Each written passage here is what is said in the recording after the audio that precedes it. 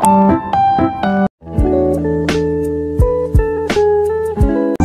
guys, perkenalkan nama saya Loh Adi Regioya Dewi.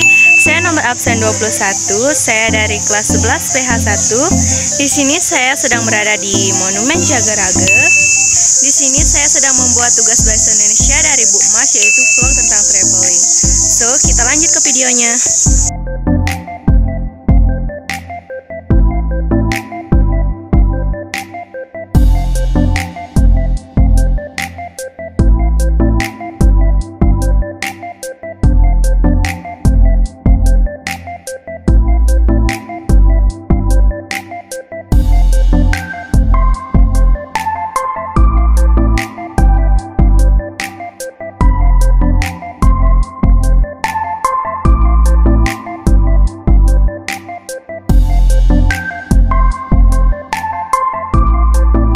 Monumen ini mulai dibangun Agustus 2016 dengan anggaran dari pemerintah Provinsi Bali.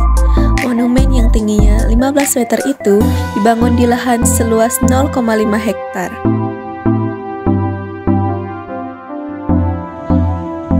Di monumen itu dibuat patung dua tokoh pejuang perang Jagaraga yakni I Gusti Ketut Jelantik dan Jero Jempiring. Kedua tokoh dari Trah Semerton Arya Pangalasan ini memegang peran penting dalam Perang Puputan Jagaraga melawan Belanda tahun 1849.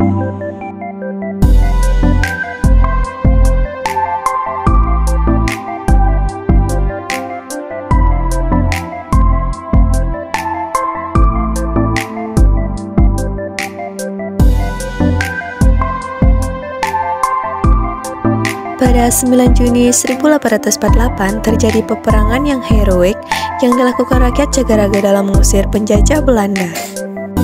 Pada saat itu, masyarakat Jagaraga yang berjumlah 2000 orang, 35 Brahmana, 3 orang pedanda dari 165 bangsawan berhasil memukul mundur 3000 pasukan penjajah Belanda dengan menewaskan 200 tentara Belanda dan 12 perwira Belanda.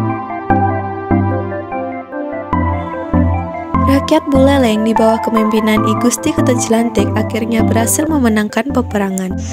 Sekarang saya sudah berada di depan patung I Gusti Ketut dan Jero Jempiring.